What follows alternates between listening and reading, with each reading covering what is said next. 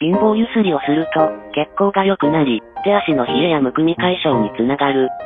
日本人の二人に一人が、癌になる。座りっぱなしだと、死亡リスクが上がる。20歳の時から体重が5キロ以上増加していると、糖尿病のリスクが上がる。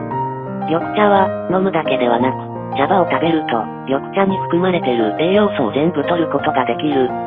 カルビーの名前の由来は、カルシウムのカルと、ビタミン B1 の B を組み合わせて、カルビー。ペットを飼うことで、気分が改善し、ストレスが減り、身体活動が増加するなど、健康に良い影響を与える。